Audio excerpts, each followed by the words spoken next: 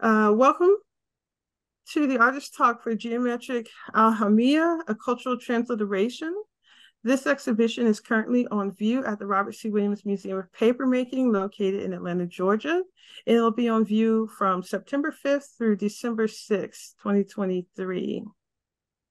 Um, this is a program uh, put on by the Robert C. Williams Museum of Papermaking. And our mission is to collect, preserve, increase, disseminate uh, knowledge about papermaking, past, present, and future. We have a number of uh, permanent exhibitions, a couple of um, changing uh, galleries, which is where the, uh, Geometric Aljamia is featured. And we also do programming for um, uh, ages five to adults. So tonight we'll hear from Reni Gower, Jorge Benitez, um, Susan Schuld, and Julia Townsend. And after all the presentations, um, the floor will be open for questions. So we ask that people please submit their questions via the Q&A button and reserve the chat for making observations, comments, or sharing uh, resources. That way we can find uh, your questions more easily at the end of the presentation. Um, questions can be submitted at any time during the uh, presentations.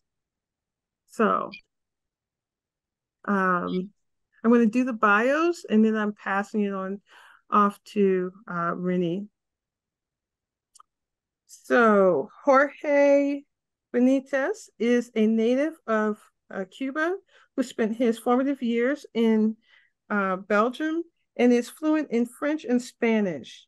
His works reflect an earlier career in advertising and interest in uh, the American culture wars in his studies of the links between words, images, and demagogic um, politics. After the events of September 11th, he became increasingly interested in his own Spanish ancestry and the Iberian links to the Muslim world, while simultaneously uh, mistrusting the notion of identity. He currently participates in regional and international exhibitions and writes on subjects ranging from the Cuban Revolution to postmodernism. His work is represented in uh, corporate collections in the Virginia Museum of Fine Arts. Before and after his retirement, Professor Benitez has taught drawing, art theory, and the history of visual communications in the Communication Arts Department of Virginia Commonwealth University. Uh, Reni Gower received a 2023 Virginia Commission for the Arts Fellowship for Works on Paper and in 2020, she also received a Paula Krasner Foundation grant. In 2017, she was awarded SECAC's Award for Outstanding Artistic Achievement. And in uh, 2014, she received the College Arts Association's Distinguished Teacher of Art Award, as well as Distinguished Teaching Awards from Virginia Commonwealth University and VCU Arts. Her artwork is represented in many prestigious collections and has been exhibited at international and national venues for over 40 years. In addition to her painting practice, she curates award winning traveling exhibitions that include The Garden, Flashpoints, Material, Intent, Fused, Geometric Aljamia, a cultural transliteration, and Pulped Under Pressure, the art of handmade paper. After 37 years, Professor Emerita Gower retired from Virginia Commonwealth University in December 2018. Gower is represented by Chroma Projects, Charlottesville, Virginia.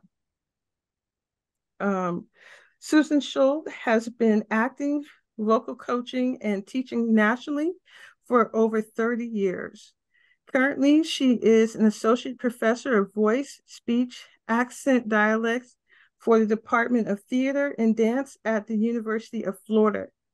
Previous teaching faculties include University of Illinois at Urbana-Champaign, Virginia Commonwealth University, the Actors Studio at Pace University MFA program, Rutgers University Mason Gross School of the Arts, NYU Tisch School of the Arts CAP 21, Circle in the Square, Maggie Flanagan Acting Studio, the Linklater Center, University of Northern Iowa, and served as a director in residence at Shakespeare's Globe in London, uh, United Kingdom, for uh, Mason Gross School of the Arts from uh, 2003 to 4. Uh, regional acting and vocal coaching credits include Hippodrome Theater, Illinois Shakespeare Festival, Montana Shakes in the Park, um, Arkansas Shakespeare Theater, Henley Street, Richmond Shakespeare, Playwrights Horizons, uh, New York City, Mile Square Theater in New Jersey, Amphibian Productions, Texas, Colonial Theater, Pittsfield, Massachusetts, Berkshire Theater Festival, Massachusetts, Child's Play, Arizona, MFA Acting, Rutgers University, designated Linklater teacher, teaching certification certifications in Knight Thompson speech work and the National Michael Chekhov Association. And last but not least, uh, Julia Townsend is an abstract artist and illustrator, as well as author. She is interested in the intermingling of chance and careful planning, both in art and life. She has degrees in art history and painting, including a certificate in Tezhip from the Topkapi Palace in Istanbul. Presently, she runs a gallery and frame shop in Edenton, North Carolina, located inside the Peanut Factory Incorporated, a community focused artist residency program, which is in the process of expanding to include a nearby conservation farm on the Albemarle Sound. Previously, she taught and exhibited in Spain, Germany, Turkey, and the United Arab Emirates. So I'm going to stop sharing my screen and turn it over to the artist. Okay, great. Well, thank you for those introductions, Jerusha. We are really delighted to be here with you this evening um, for the showing of Geometric Aljamia, a cultural transliteration at the Robert C. Williams Museum of Papermaking at Georgia Institute of Technology. Um, I'd really like to express my special thanks to Jerusha Graham for um, hosting the show and for hosting this Zoom chat. So my introductory remarks are going to address sacred geometry as sort of the cornerstone of this project and I will reveal how sacred geometry is an intrinsic, implicit, and lasting symbol in the arts. So since antiquity, um, geometric perfection has conveyed sacred and collective beliefs by reflecting the fractal interconnections of the world. And humans inherently recognize these ratios as they govern all the ratios of the natural world, including those of our bodies. So these similarities cross cultures and they're found woven into patterns all across the world. And incorporating these patterns into contemporary works of art um, highlight the multi multicultural connections and they foster communications these despite language barriers, which remain really the overreaching um, goals of geometric aljamia. So these diagrams provide a little summary of what geometric, uh, uh, what sacred geometry really is all about. So if you look at the top left diagram, it uh, represents the Fibonacci sequence, um, also known as the golden mean or the golden ratio. And then if you look to the right, uh, I hope you guys can see it, even though our pictures are there. Um, that depicts all the archetypes of nature, art, and science as pure geometric shapes and they all derive from the circle. So using only a geometer's tool of a pencil, a compass, and a straight edge, um, it's easy to see how the circle um, is the source of all subsequent shapes and is often seen as the womb um, out of which all geometric patterns evolve and develop. So you expand from a single point to its perimeter. The circle implies the mysterious generation from nothing to everything and from the finite to the infinite. so To ancient mathematicians, the circle also symbolized the number one, and similarly, the number one creates all the subsequent numbers. Thus, the circle becomes the transcendental statement of the universe. If you look at the bottom left, the flower of life is composed of evenly spaced overlapping circles. And since antiquity, this design can be find, found in all the major religions of the world, as it contains all the patterns of creation as they emerge from the great void or the divine source. So with the internal ratios identical to cellular division, the structure also signifies all the energy systems, including our human bodies. So with um, the color depiction shows the containment of the platonic solids within the flower of life. And in the bottom right, you see an optical effect of the flower kind of opening up in a spiral if you overlap three layers of the flower of life. So throughout time and across cultures and religions, the circle's inherent perfection denotes wholeness, unity, and the divine order of the universe. So whether you ascribe to a creation myth or the Big Bang Theory, the symbolism is really the same. Out of one comes the many.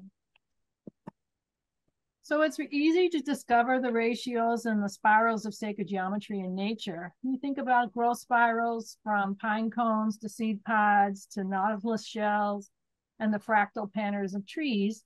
Um, but it's also quite common to see the ratios applied to man-made structures and designs. So whether they're classical or uh, modern, sacred or secular, um, ideal proportions can be mapped easily on iconic structures from all around the world. And while these are really beautiful examples of Islamic um, patterns in an interior setting, um, we could easily find similar examples in the great cathedrals of the world. Okay, Jorge. All right. Well, it's a pleasure to be part of this exhibition and with my fantastic friends and colleagues. Um, the history of our exhibition really starts in 2012 when Reni and I were at a wine and cheese reception at Virginia Commonwealth University, and we started talking about the upcoming Tasmeem uh, workshops in Doha, Qatar, where VCU has an extension of the School of the Arts. And I was talking with Reni about the idea of aljamia, uh, and we started talking about, well, why don't we take this notion of aljamia, which is an uh, uh, an Arabic word for the transliteration of um, Arabic letters into Romance languages. And mm-hmm. one thing led to another, and we decided to make a proposal. So the proposal was accepted, and before we knew it, we were on our way to Doha in 2013 to be at the workshop. Okay, Reni, I think I'm I'm ready for the uh, the next one. So in Doha, VCU, or as we call it there, VCUQ for VCU Qatar, has a fantastic school that takes in students from all over the world, but mostly from the Middle East. So there are not only a lot of Qatari students, but there are Kuwaitis and Jordanians, Lebanese and Egyptians, and just from all over the Arab world and beyond. And it was there. Uh, well, you can see a picture of the entrance to the campus on the lower left. And of course, the desert is, is right above it. Uh, we had a chance to visit that desert, and it's pretty imposing. But it was there that we did our workshops, Reni's paper cutting workshops, my perspective workshop, and also that's where we met Susan and Julia, who was in our workshops, in the paper cutting workshops. Okay. So we can go to the next one. So geometric aljamia extended uh, beyond the actual workshops on paper cutting and perspective to include, of course, Susan's uh, workshop on poetry um, and the wild colors of Qatari voices. And so as we were all working, we met and we realized we had a great deal in common. And at the same time, I was presenting a paper in conjunction with other uh, presenters, one of whom was uh, VCUQ, who is a, um, a physicist. And that led to an extended conversation on uh, what the concept of aljamia meant in terms of the Islamic world and the classical world before that, and then of course the Renaissance in uh, in Europe. Okay. So, and then this was already directly related to my work, which uh, had to do with perspective specifically, as was mentioned in the bio after the tragedy of September 11. I started wondering, how is it that something that we think of as Western as, as perspective, but which also has roots in the Middle East and in, in Arab optics and uh, studies in geometry, how is it that our two worlds could go so far apart or that uh, it could be they could be thought to be so far apart when in fact they shared so much in common? And that was one of the things that was reinforced in qatar was that uh, the muslim world and the west were really part of the same civilization and had been feeding each other information for centuries even before the advent of islam. So this um, this joint understanding of all that we had in common contributed to the discourse and I think in, in all of our views made the uh, the project an even greater success. Okay. So um, one thing that um, just to maybe reiterate, this particular Tasmeem was hybrid making, and um, that was the theme they wanted to um, kind of expressed throughout everything that was going on. So the fact that we were collaborating across all these disciplines and with all these different personalities and people from all different cultures was a perfect sort of confluence of hybrid hybridity, I guess if you want to say. At one point, we we thought maybe we'd have two participants, maybe 20, maybe a member of the royal family. You know, it, it just kept shifting. And we just decided we would we would um, be prepared for whatever presented itself. So once we were there, um, we were given a lovely workspace um, that was a temporary sort of pop-up workspace gallery. And um, that's where we worked for a week with um, our participants. And we worked on designing motifs um, that they um, our participants could cut into their own paper cuts. And that part of the process took a little longer than we anticipated, but everyone approached it from their own sort of personal perspective. And we really encouraged that, that everybody bring something very unique to the table. And so it quickly shifted from a teacher student sort of conversation to one where we all became kind of equal partners in the collaboration. And that's when it got really sort of magical for me um, because we really started to riff on um, things that everybody else was doing. And I know Jerusha was um, um, talking about the tracings that are in the show, and that actually came in through Julia's inspiration. And it wasn't anything we had pre envisioned at all, but it became a very integrated and integral part of the um, of the show. Um, so we we worked for like three days on um, the pattern making and the cutting and then um, the third day, we switched into Jorge's perspectival drawing workshop where he was flipping a, a flat shape into a three dimensional structure. And we thought that might be challenging to them. But here again, we are also proved wrong that it was simple. They recognized it intuitively and they um, uh, understood the magic of it um, almost immediately. Um, and then the last day we were there, we spent um, installing the shop, the work, the, the show, and then having the presentations and the um, performances. So now, Susan, it's your turn.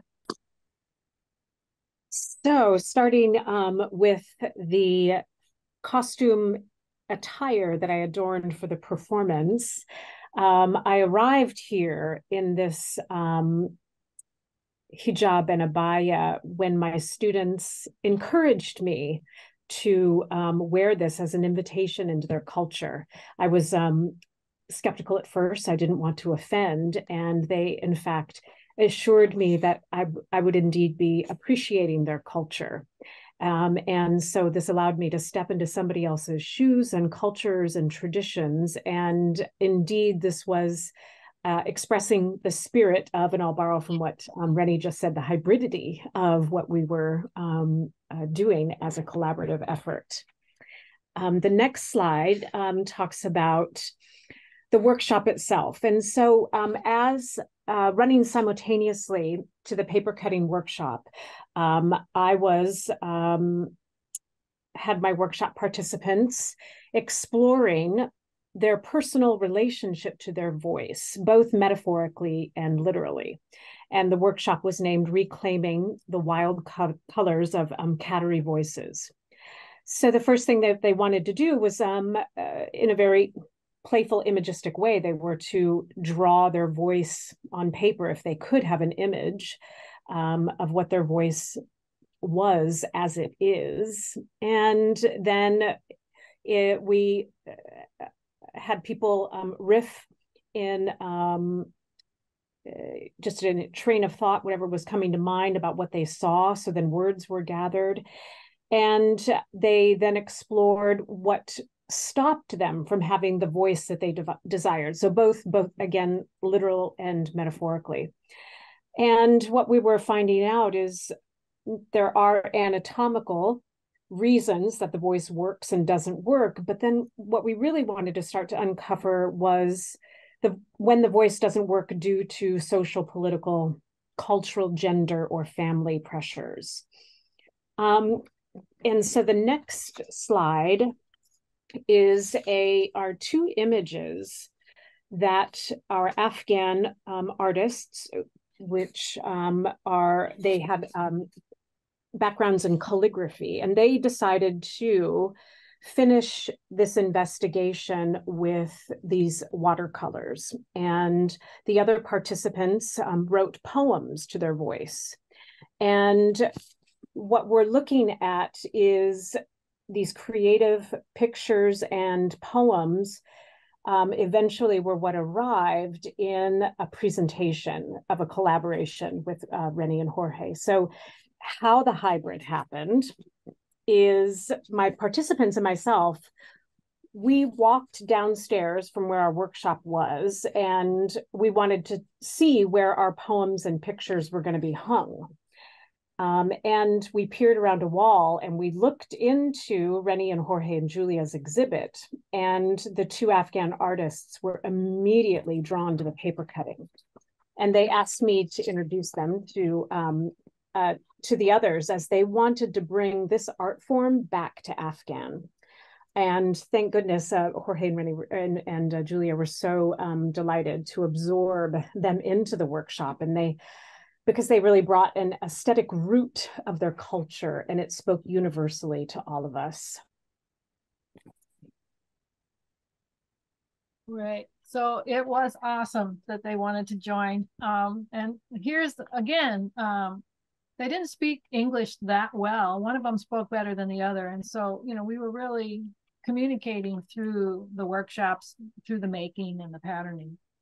So as as professors, it's not unusual to collaborate, and um, Jorge and I collaborate on a lot of things. And in this case, um, we collaborated on cutting this paper cut. Um, we really weren't sure what we were going to run into, and if we would have anybody who would um, want to um, participate and make their own works. And so we came prepared to have a two-person show, if you will. And so I came with two completely um, cut works, and then we finished this one during the the week. Um, but everyone um, just was so fantastic to work with that we ended up with just uh, an amazing group of works that you know we were just very um, excited um, to see come to fruition in, in the space where we were working.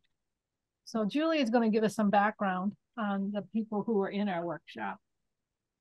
So um, I came up from uh, where I from Dubai, where I was teaching at the American University in Dubai, and I had come a couple of years before I had done the course at the Topkapi Palace on Tezhip, which is the traditional uh, illumination of the Quran, which you find all over Turkey. I I was in Istanbul for six years before going to Dubai, and uh, so it was a common training of what the Afghan guys knew as well. So it's also um, a, a, blending, a hybrid of cultures. The uh, Ottoman design of Tezhip built on traditions that go back centuries from Iran and all different tribes that were coming, uh, motifs coming out of China. And the Ottomans turned it into a design of empire. So it united their entire, you can find their basic style, you can recognize from Egypt, you know, beyond Egypt, uh, all the way across the Middle East. Uh, so that's the training I'd come out of. But how freeing, uh, and you learn rules very carefully. But I just uh, arrived at this workshop and just was thrilled with taking the training that I had and then putting it into this new thing with paper. Um, so it was it was quite exciting uh, for me, and that's uh, one of the pieces I did, which has drawing behind it. Uh, next slide. Um, this is a uh, gosh, I'm blanking on her name right now, but she was a student uh, from Kuwait who uh, was in her senior year, I believe, and she had come down for this project. I think a family member had come with her, and I believe her training may have been graphic design, and she developed um, this huge piece, uh, really lovely and the way um, Reni had us working was t- developing a square pattern. And once you're happy with that, then expanding it into a broader broader piece. Uh, next.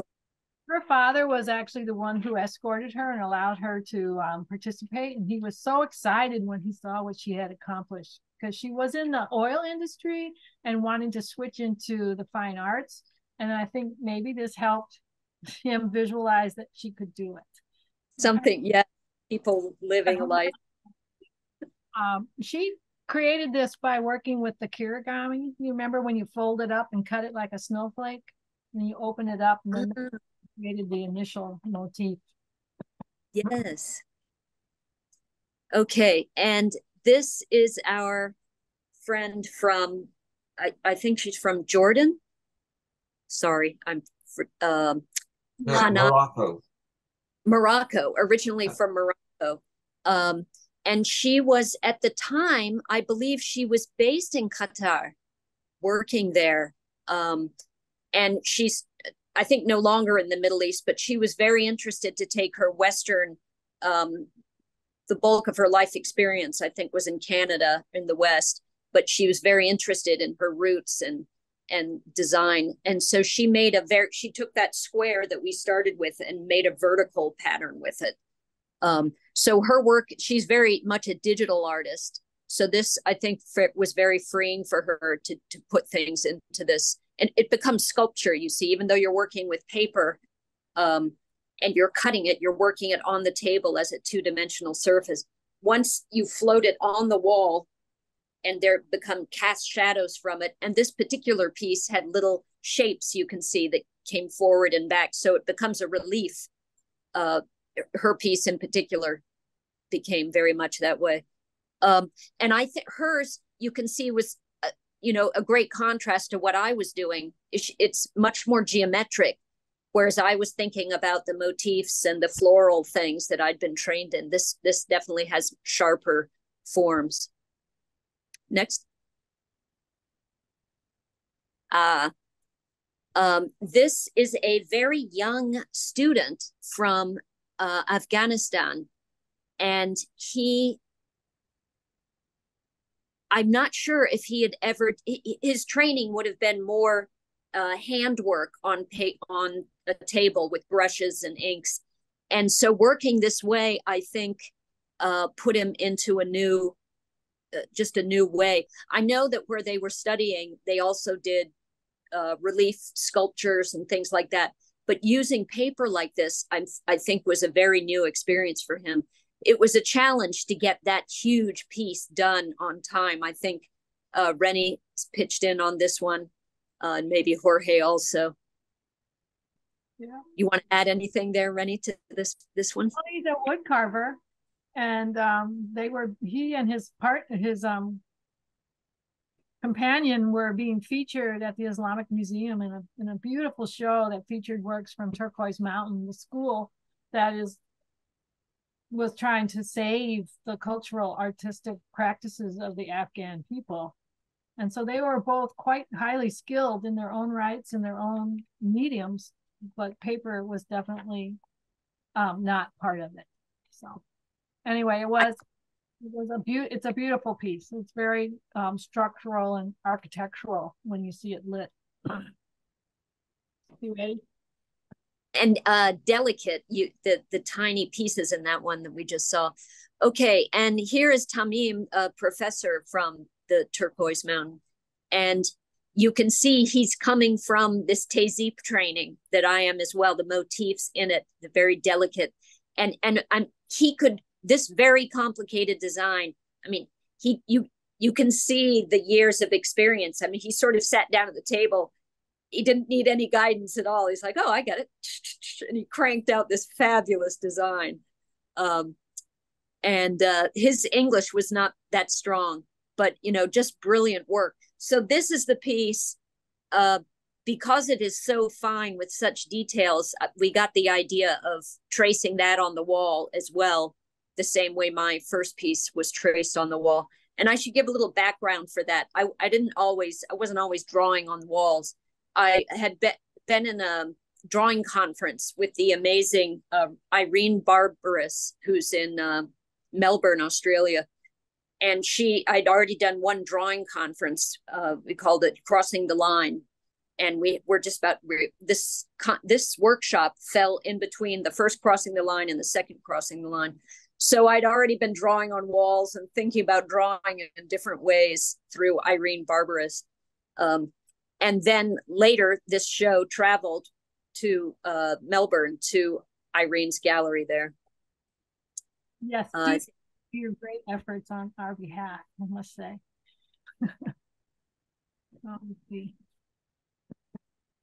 okay, now this would be you, Jorge. Yes, and here we see again that concept of the hybrid. I am taking um, traditional Islamic motifs, which, as Dr. Saud said, were also based on Greek motifs, which were based on other things that were uh, traveling around the Mediterranean world thousands of years ago. So I took the uh, eight sided tile and started playing around it in perspective, uh, creating courtyards and uh, just odd shapes as we see on the top right. And, and these imaginary buildings that commented on the juncture of Western perspective Islamic architecture and all the cross fertilizations that were taking place in the in the Mediterranean world. And so these were also commentaries on things such as intolerance or historical ignorance. Why don't we know more about each other?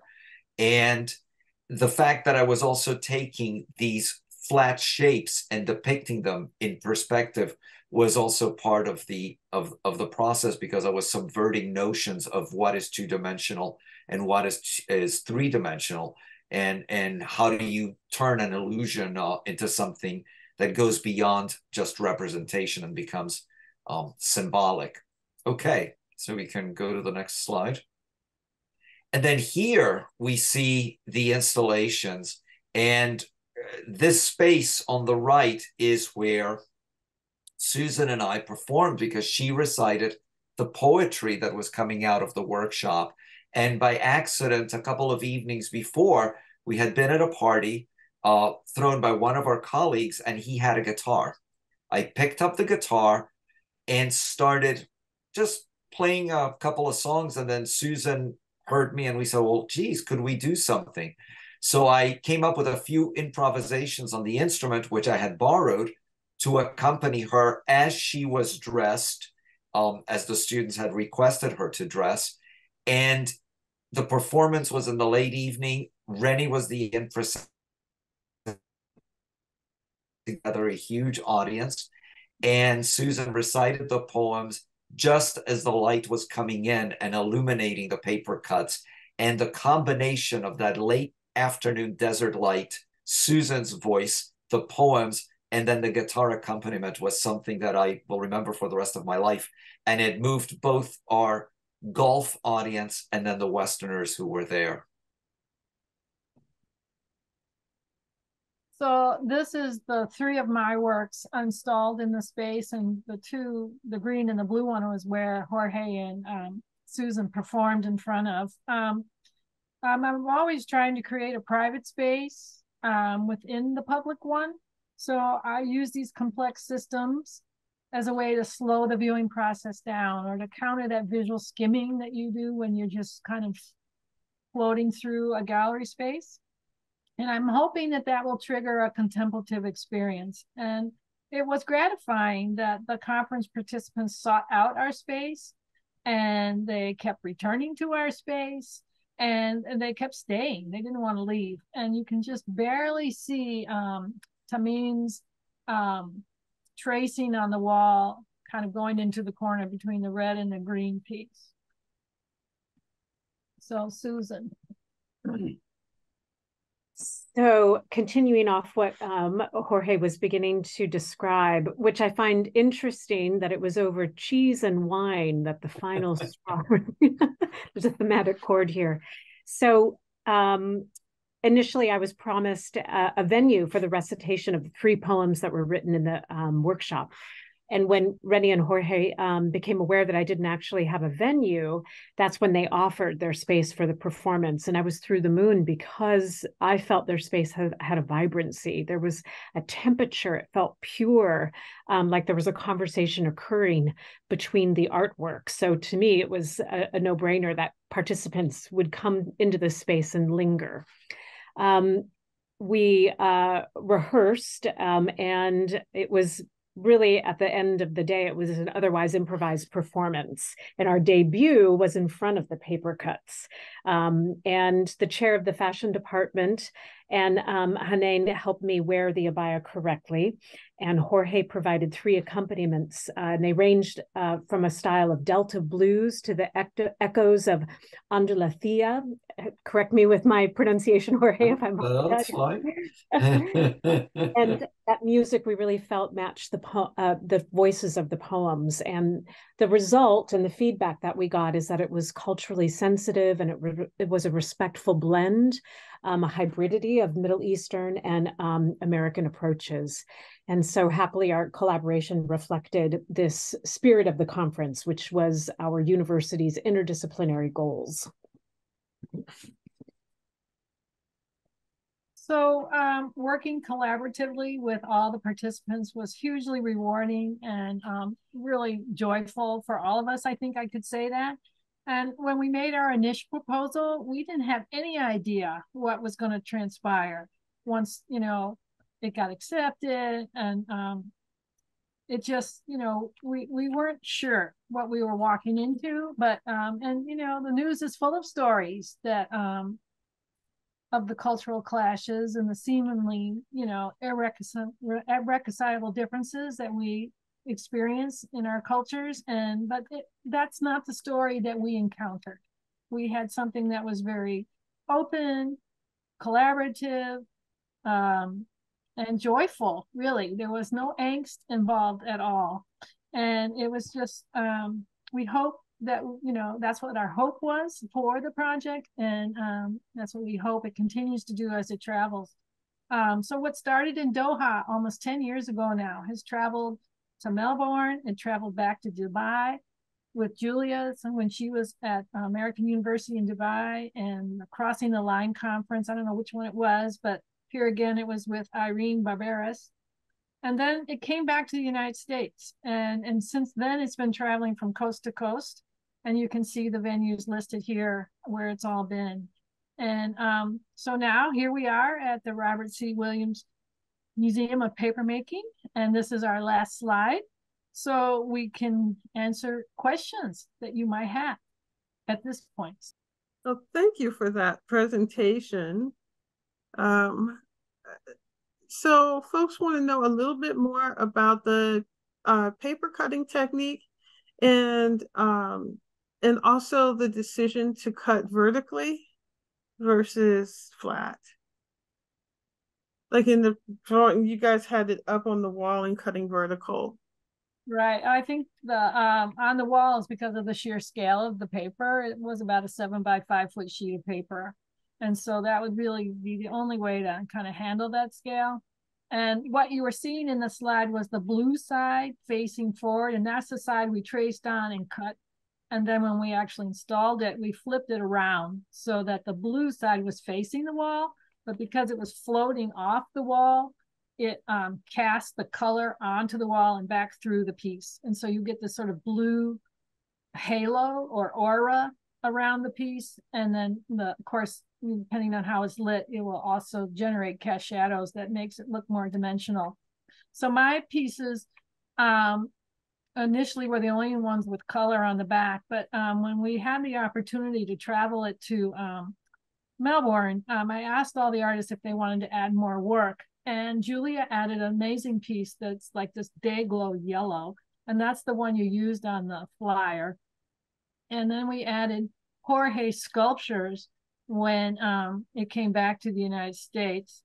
And um, Tamim and Soleil, working through interpreters at Turquoise Mountain, um, Tamim sent two more stencils to us that we were then able to cut in or trace into pieces for him.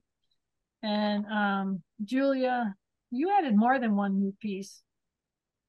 Oh, I did border designs. Right, you did border designs that could be traced. And um, and then Susan, of course, had all the poetry through her um, other partners and her participants. And so when we got back, we created a catalog and published the poetry as well with with the catalog. So um, the actual uh, method for cutting paper is you use a snap blade or an X-Acto knife and you just cut the lines. And you know, you trace your pattern, cut the lines. Um, it's very slow because you have to be careful, but it's not hard. And you just have to be mindful about what you're doing. And you're cutting from the back, correct? Cutting from the back side? Cutting from the back because you don't want all that, all the um, tracing to show. And you mm. want the color to flip. So yeah, but you could cut on a table too. It doesn't. It doesn't really matter. It depends on how big your paper cut is. I mean, so Julia just made motifs, and hers were definitely cut on a table. Hanan's was cut on a table. Most of them were cut on a table. I mean, I just go big. that answers that. I was going to ask you um, the uh, the choice to work at that scale.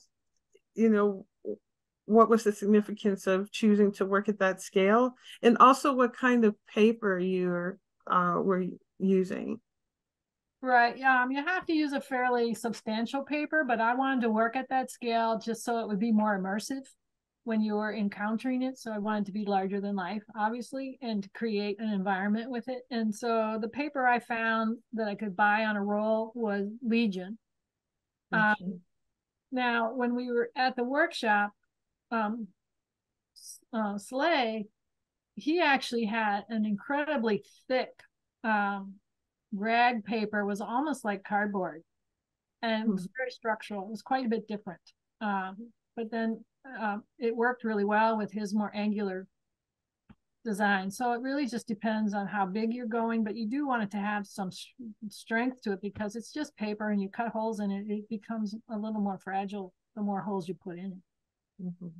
I was going to say, uh, Reni's large pieces, of course, connote have a connotation of carpets Carpet. when they're that big. Tapestries. Interesting. I've started doing these things in vinyl that can go on glass and on the floor, so that carpet reference is coming through more. I think Julia now with pieces that you can actually walk on were some of the images computer generated or were they all hand drawn? Jorge, you answer that because yours. Uh, my images or Reni's of geometric images? I think in, in general, the things that you guys showed during the. Well, um, my, I know mine are all by hand and they're done using uh, not Renaissance processes, but 19th century and early 20th century architectural practice. So everything is done by hand from start to finish. I think the whole show is done by hand, start to finish. Yep. Indeed. And that's kind of the point, you know, that it's not like and um, that you have to be invested in it over time to create it, and hopefully that translates into the viewing as a slower, more contemplative viewing as well. And, um, and I might add that the supposedly the geometrists who designed the interiors of mosques and all that detailed work that you see they weren't figuring it out mathematically. They didn't uh, supposedly yeah, did not know the math behind it. It was just you get a compass and a straight a straight edge and a compass and you can do a lot. All right. Uh, this question is for susan. I'm curious uh, um, did you the the outfit that you wore did you only wear it for the performance or did you wear it during the entire time that you were teaching or? Just during the performance. Um, it was one of the uh, one of many many um, cultural revelations that i had being american and going to the middle east. I had thought that um, the hijab and abaya were only uh, for religious um, purposes. And uh, being there, I was really schooled by my students, um, letting me know that that is um, that some sometimes it's uh, rooted in religion, but that it is a fashion and it is um, not. It, it's really it's it's it's all over Europe as a fashion, and so um, it was just for the performance because again, I wanted to have this hope that uh, we were crossing boundaries. Um, I think it was maybe it was Jorge that wrote this. I think it was gorgeous. Um, this uh, wanted to have this idea that we wanted that we all spoke the same language, and that's a language uh, that is without borders called art. And so, getting all this interconnectivity of Westerner and American and coming together. I think I may have even had a slight Southern accent in one of my poems. You did. yeah. Yeah, so, yeah that's yeah, what, that's just... the one with the blues. Yes, Born in Holland. Yeah. now, if, if if I may just interject something in here, because I was as conscious of all this as Susan was, especially with my background, because my my ancestors are from Spain, and our contact with the Arab and Muslim world lasted 700 years. It was not always pleasant for either side there were moments of tragedy, but what came out of that were 3,000 words of Arabic origin in the Spanish language and forms of art and music that crossed not only into Spain, but into the whole Western world. Right. Um, and that, that, uh, that history and background, I'm curious, um, I know that it's traveled a couple of times and and with adding the sculptures and you know it's it's had several um iterations.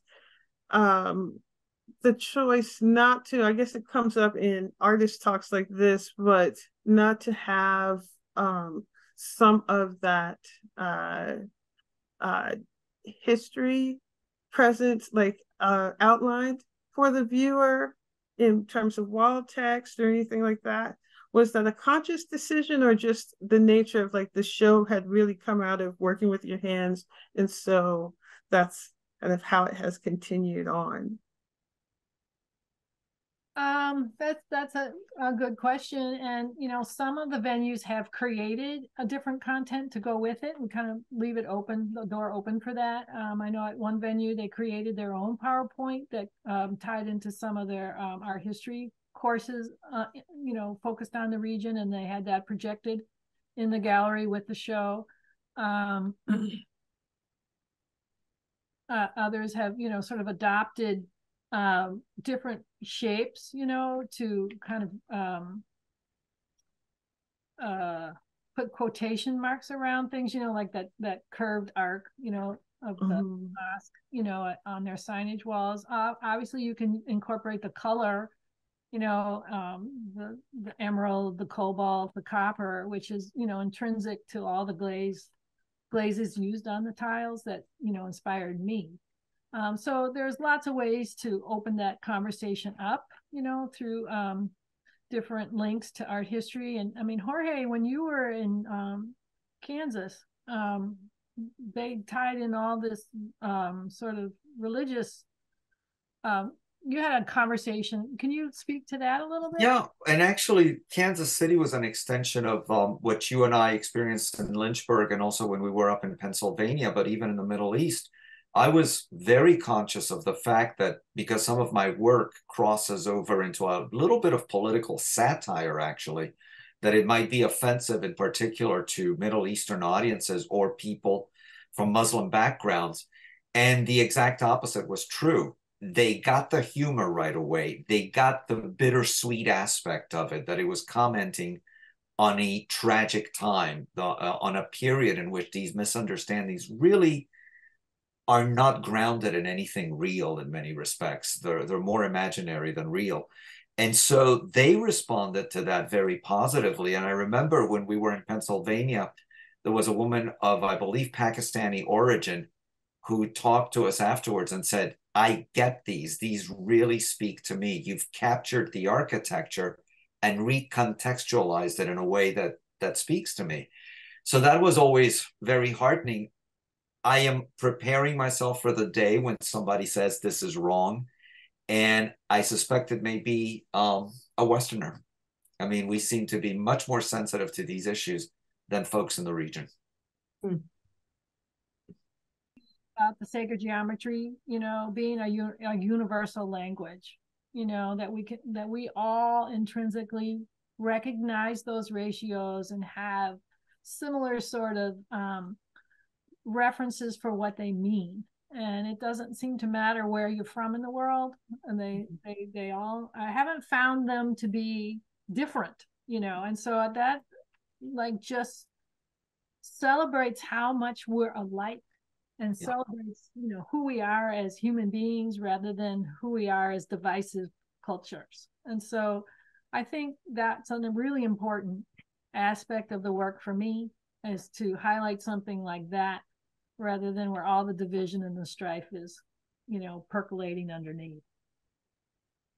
Yeah, and I'm really struck by going through this again and remembering all the participants and where they were from, how much that is resounding in bringing us all together from all different regions in that area. Yeah. Oh, that I I I got it. I was gonna um ask about the designs, right? So uh uh, Julia, you pointed out that the like, is it Tas Tezhip?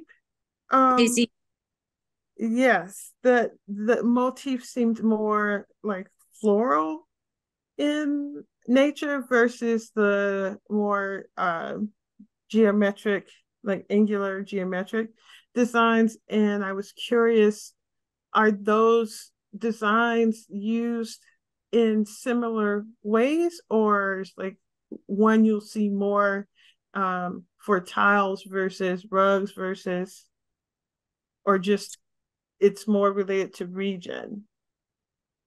Do you guys? Uh, I I mean the floral, the more floral work is definitely seen in the Quran. Uh, on the traditional illustrate illuminated pages of the Quran or the seal of the Sultan, that sort of thing. Um, going back centuries, Persian documents, and so forth.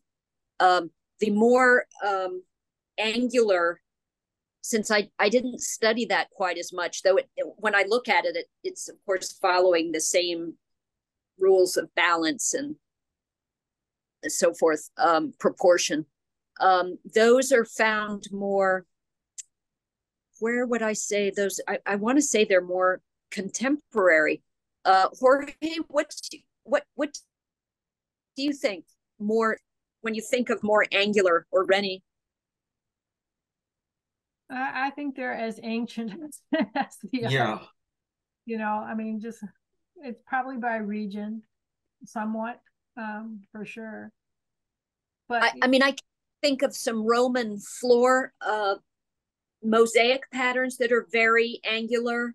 Yeah. Um. I'm thinking of Zinjir, which is the chain design, which actually you can also find on the floor of our local post office here in Eden. But uh, uh, you know, some things that if you you know if you dig deep it's it's it's universal so but what i particularly studied ha- has that um the floral motifs and then the the arching forms they they called it rumi which means greek as if it came more from the western side of the ottoman empire i don't know how true that is so that the Chinese forms would be the little flower motifs, and then the Rumi would be the Greek. So it was kind of from two sides of the Ottoman Empire merging together into their design forms. Um, Julia, that makes perfect sense because in Morocco, which had more of an influence on Spain, it tends to be more geometric. And I know from my research that there it was the tile makers who would take a square tile and then rotate it and join it to other smaller or larger tiles. And again, because they couldn't read or write and they had never studied math, it was all intuitive, but they got infinite combinations of highly geometric shapes. Yeah. Yeah. Those chain patterns and interwoven patterns in the Middle East, in in Scotland and Ireland and all the Celtic works. I mean, it just migrated along. I really think it just migrated along the Silk Road you know, from the east to the west. And um, you will find, you know, I mean, there's a there's a, a myth that you're not supposed to have um, figurative elements in in a lot of the Middle Eastern patterns. really kind of a myth, you know, because it's. Well, Reni and I were at the Museum of Islamic Art in Doha, which if if anybody ever gets a chance to visit it, it's amazing and there's a, a room full of Korans, and they were illuminated Korans, very similar to Western illuminated manuscripts, full of people inside them, which supposedly is a no-no. So here were, you know, entire populations within these illustrated Korans, and the only exception was the prophet himself. His face was just a white blank oval, and that was mm. it. And our two Afghan artists were featured in the show that was at the Islamic Museum of Art at the time, and that's why they were in the country. I, I have so many more questions, but it's it's getting to be that hour. I did uh, want to ask Susan: Is there any audio of the poems? So there's the catalog, but is there any audio or video of the? Is there ways to access the, like online or anywhere like that? Or can we post? You can post. These... Okay. All right.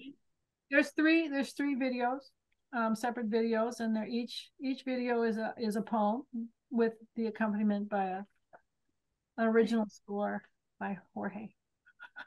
they're beautiful, and um, we we didn't. Let's see what we do. We didn't um, record them on site at the conference when we got back um, to um, VCU home campus, because all three of us were at VCU at the time, we were able to recreate them in a black box theater and have them recorded. So they're a little different than what actually occurred at the conference, but they're beautiful and you're welcome to share them. Oh, wonderful. So anybody that's interested, give me a couple of days, maybe end of the week, beginning of next week, and I'll have those up on the website so that folks can see that as well. Okay. Um, I've got some house cleaning things to do, so I'm going to share my screen once more. I want to say thank you to our um, presenters. Again, if you're uh, in Georgia or coming through because we've got the Hartsfield Airport here. If you've got some layover time, uh, this show will be up through December 6th. Um, if you enjoyed this uh, presentation would like to help support the uh, museum, um, we are happy to accept donations so that we can continue to offer some free programming.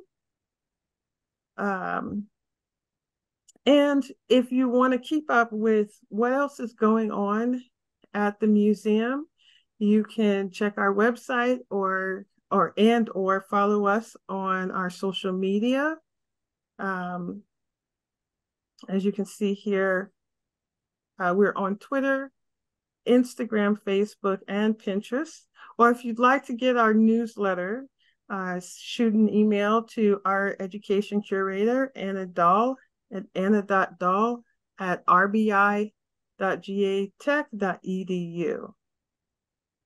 Um, we've got a lot, lots of great programming associated with this uh, show. The next um, programming is uh, in person uh, tunnel book workshop, a view through the arches, and that will be September 28th.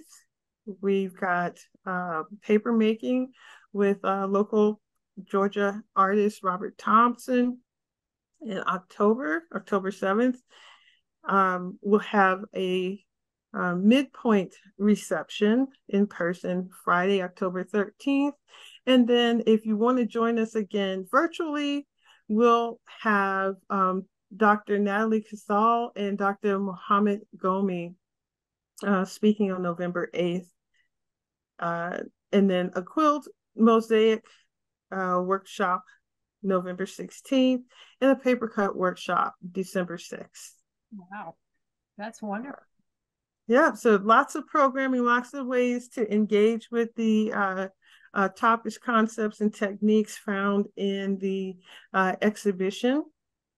Um, uh, Dr. Kazal, who will be speaking in November, will be um, giving some perspectives from the School of Modern Languages, and uh, Dr. Ghomi will be talking about some of that math that that's the um, uh, foundation of these designs.